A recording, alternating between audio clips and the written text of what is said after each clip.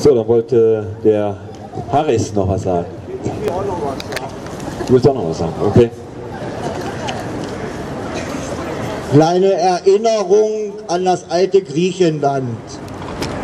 Auf dem Weisheitstempel von Delphi stand nicht das Orakel, sondern erkenne dich selbst.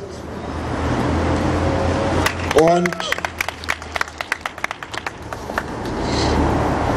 Sirach im Alten Testament der Bibel hat verkündet, Gottes Furcht ist aller Weisheit Anfang.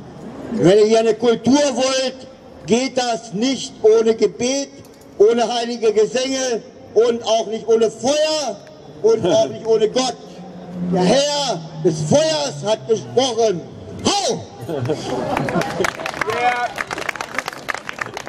Yeah.